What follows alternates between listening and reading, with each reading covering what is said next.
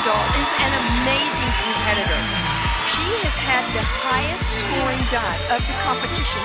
Terrific for the defending champion.